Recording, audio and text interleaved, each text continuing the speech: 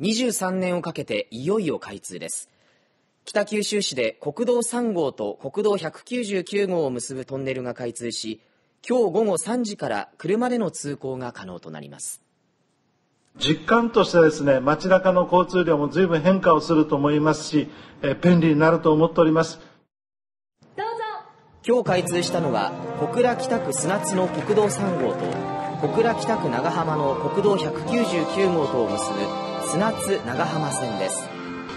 間に新幹線を含む JR の線路が走り連絡道路が小倉都心部にはなかったことなどから両国道とも慢性的な渋滞が問題となっていました。このため市は交通物流の効率化を目指し北と南をトンネルでつなぐ砂津長浜線街路事業を1999年から進めてきました。事業費はおよそ340億円で今後歩行者や自転車用の通路も作られ2024年に全ての工事が完了する予定です。トンネルの供用開始は今日午後3時となっています。